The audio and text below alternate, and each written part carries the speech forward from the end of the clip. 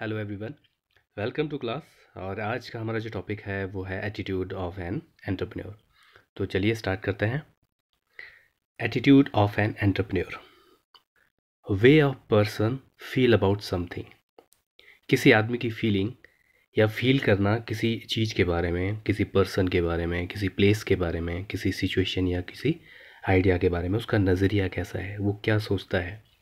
जैसे यहाँ दिया गया हमारे पास The meaning of attitude is one tendency is to respond a certain way to towards a certain idea, object, person और situation.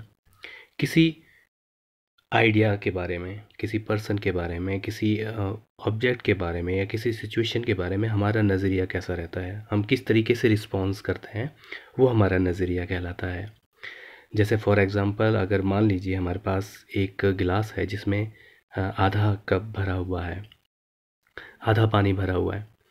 तो देखने वाले का नज़रिया अलग अलग होगा। कोई कहेगा कि ये आधा भरा हुआ है, कोई कहेगा कि ये आधा खाली है। तो ये एक नज़रिया है, जिसमें एक पॉजिटिव वे में देख रहा है कि वो भरा हुआ है आधा और एक नेगेटिव वे में है कि वो आधा खाली है। An entrepreneur's attitude effect their choice of action while running the business तो एक उद्यमी का, एक एंटरप्रेन्योर का एटीट्यूड भी उसके बिज़नेस में काफ़ी फ़र्क लाता है, बहुत मैटर करता है एक एटीट्यूड एंटरप्रेन्योर का। एटीट्यूड ऑफ़ एन एंटरप्रेन्योर एक एंटरप्रेन्योर का एटीट्यूड कैसा होना चाहिए? बिलीव इन सेल्फ उसको अपने पर विश्वास होना चाहिए। क्योंकि जब आप नया बिज़नेस स्टार्ट करते हैं तो ये रिस्क रहता है कि बिज़नेस रन होगा या नहीं होगा। क्योंकि हमें गाइड करने वाला कोई नहीं होता है।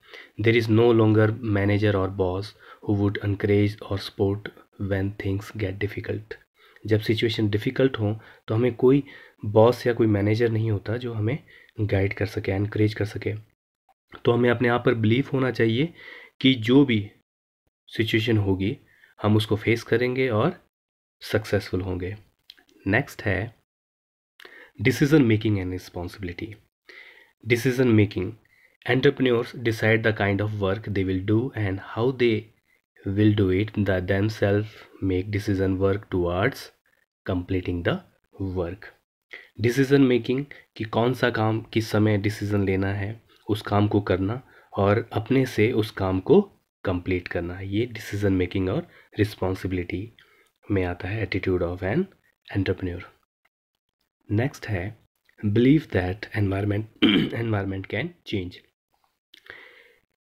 and entrepreneur usually work in unknown environment जो एंटरप्रेन्योर होता है, वो ऐसे एनवायरनमेंट में काम करता है जहाँ उसको नॉलेज नहीं है या अनजान एनवायरनमेंट में काम करता है।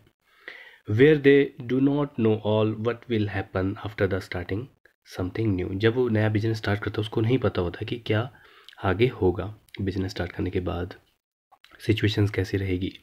Therefore, the importance important for an entrepreneur to remain positive and believe that the market environment can change.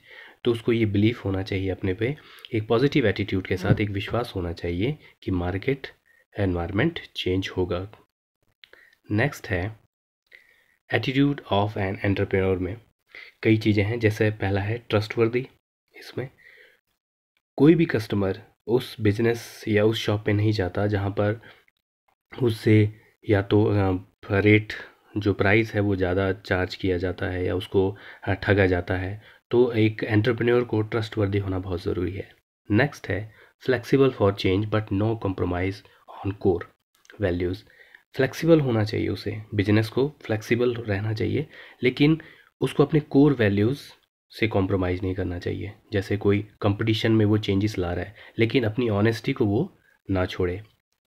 Next है fear of failure shouldn't hold back उसको फेल होने के डर से ये नहीं होना चाहिए कि मैं फेल हो गया तो मैं, मेरा बिज़नेस नहीं चला तो मैं अपने बिज़नेस को स्टेप बैक कर लूँ या बिज़नेस बंद कर दूँ या कुछ इस तरीके के डिसीज़न नेक्स्ट है मेक टाइमली डिसीज़न किसी भी डिसीज़न को टाइमली इम्प्लीमेंट करना बहुत ज़रूरी है। जो अगर आज की डेट में, अगर आज आपको डिसीज़न लेना है तो उसको आज ही डिसाइड लेके उस पर काम करना ज़रूरी है। नेक्स्ट है encourage and accept criticism encourage रहना चाहिए उसे और उसको जो भी किसी भी तरीके का फीडबैक आए बिज़नेस में, उसको एक्सेप्ट करना चाहिए अपने कमियों को क्रिटिसिज्म को। उसको एक पॉजिटिव वे में लेना चाहिए कि मैं इसमें, मुझे ये ये एरियाज़ हैं जहाँ पर मुझे इम्प्रूव करने की ज़रूरत है। तो ये थे attitude of an entrepreneur thanks